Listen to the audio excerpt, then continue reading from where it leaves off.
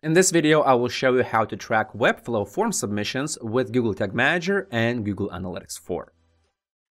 Here I have a demo website and on this page there is a form. Below this video you will find a link to a form listener. Click that link and then copy this code. Then go to Google Tag Manager by the way, in this tutorial, I assume that you have already installed Google Tag Manager on a Webflow website. If not, then take a look at the description of this video where I will share a tutorial on how to do that. So in Google Tag Manager, go to Tags, New, Tag Configuration, and then Custom HTML. Here, paste the code, and then set it to fire on all pages, for example. But ideally, you should maybe create another trigger that will fire only if page path contains contact. That way, this custom code will be activated only on the contact page where the form is present instead of all pages.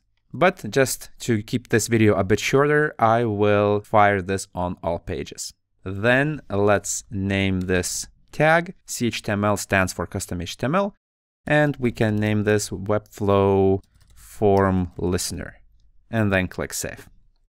Now let's test if this is working. I will click preview. This will open a new tab and here I have to enter the URL where the form is present. I have already done that, so let's click connect. Now let's submit the form. Enter some information and click submit. I see the success message. And if I go to the preview mode, I see the form submission event. And if I expand it, I see the ID of the form and then what kind of information was filled in in each field. In this tutorial, I will not be using these. I will just send the form submission event and the form ID. The reason why I see the form submit event here is because my Google Tag Manager container also has the form submission trigger which is just the default trigger, which does not do a lot.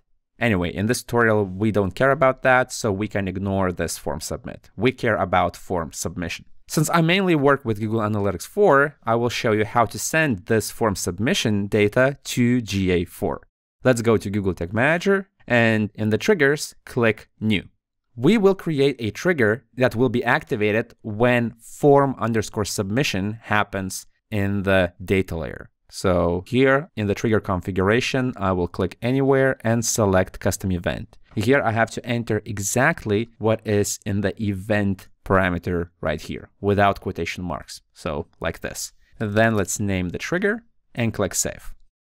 Together with the form submission event, I also want to send the ID of the form, which is email form.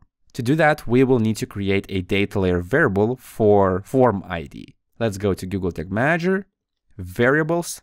Then in user-defined variables, click new, variable configuration, data layer variable, and then enter exactly what we have here, form underscore ID. Then let's name the variable like this and click save.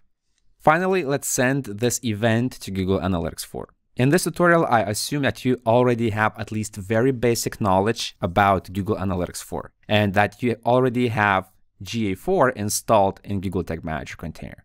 In my case, I just have the Google tag with the following tag ID, also known as measurement ID. If you have no idea what this is, then I will post a link to another tutorial below this video on how to install Google Analytics on Webflow. So in this video that you're currently watching, I will create a new Google Analytics 4 event tag, and that tag will be using this ID. So I can copy it and then in the tags, I click New, Tag Configuration, Google Analytics, GA4 event. Here I paste the measurement ID. Then I will need to enter the event name. It can be any name you want. For example, it can be generate lead, which is a recommended event name, or it can be form submission, for example.